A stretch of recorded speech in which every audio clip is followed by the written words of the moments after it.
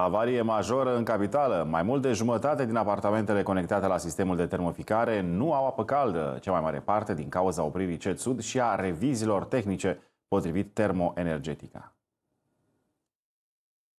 Peste 5100 de blocuri sunt afectate de lucrări efectuate în perioada opririi CET Sud pentru revizie tehnică, fie de avarii sau lipsa parametrilor pentru livrarea apei calde. Sectorul 3 este cel mai afectat cu 1800 de blocuri care nu au apă caldă. Aplicația termoenergetică arată că peste 1700 de blocuri nu vor mai avea apă caldă până pe 11 august, pentru că se efectuează lucrări la conducta magistralei 3 Sud executate pe perioada opririi CET Sud pentru revizie tehnică. Din sectorul 1 sunt afectate de lucrările la magistrală 3211 blocuri, iar din sectorul 2 sunt afectate de revizie aproape 1300 de blocuri. Conducta magistralei 3 Sud a fost pusă în funcțiune în anul 1968, această zonă de rețea având 55 de ani de funcționare. Termenul estimat pentru reluarea furnizării agentului termic este 11 august. Aceste termene sunt estimate înainte de deschidere deschiderea șantierelor și decopertarea galeriilor, iar finalizarea lucrărilor depinde de complexitatea acestora, care este în directă legătură cu starea de degradare a conductelor, potrivit termoenergetica.